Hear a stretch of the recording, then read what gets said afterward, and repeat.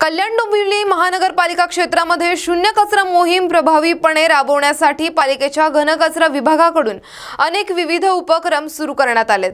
मात्र आजही सुका कचरा वर्गीकृत न करता तो एकत्रित प्रक्रियेसाठी नेला जात असल्याने आर डी एफची समस्या निर्माण झाली आहे. सुक्या कचऱ्यातील अनेक घटक प्रक्रियेत नष्ट होत नाहीत त्यामुळे आता या आर डी एफ समस्येवर तोडगा काढण्यासाठी घनकचरा विभागाचे उपायुक्त रामदास काकरे आणि सुक्या कचऱ्याचे नऊ प्रकारामध्ये वर्गीकरण करण्याचे आवाहन सोसायट्यांना केले आहे.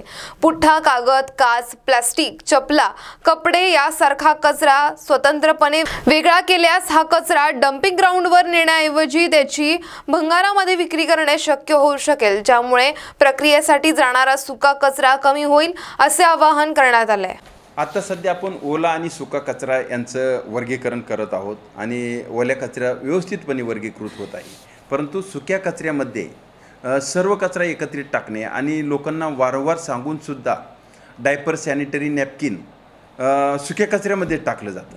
तर आम्ही आता सुक्या कचऱ्यामध्ये प्लॅस्टिक काच कापड आणि कागद हे घटक वेगळेच एका गुन्हेमध्ये भरून द्या तरच घेतलं जाईल अशी आम्ही आता सर्व सोसायट्यांमध्ये सूचना देत आहोत त्याची अंमलबजावणी करण्याचा प्रयत्न करत आहोत. त्याचबरोबर डायपर सॅनिटरी नॅपकिन हे दैनंदिन संकलित होणं खूप गरजेचं आहे आणि ते वेगळं दिलं लोकांनी तर आम्हाला ते व्यवस्थित संकलित करून आम्हाला त्याचं डिस्पोजल करता येईल.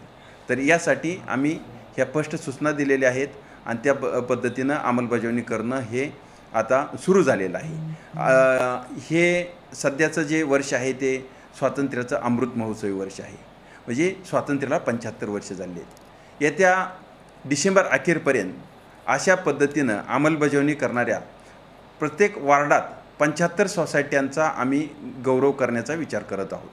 जर अशा पद्धतीनं वर्गीकरण करून जर ड्रायवेस्टचं आणि घरगुती घातक आणि ओल्या कचऱ्याचं जर अशा पद्धतीनं आमच्या सूचनांप्रमाणे सोसायट्यांनी दिलं तर त्यातल्या पंच्याहत्तर सोसायट्या अग्रक्रमाने ज्या येतील त्यांचा आम्ही यथोचित सन्मान करू आणि त्यांना प्रोत्साहित करू.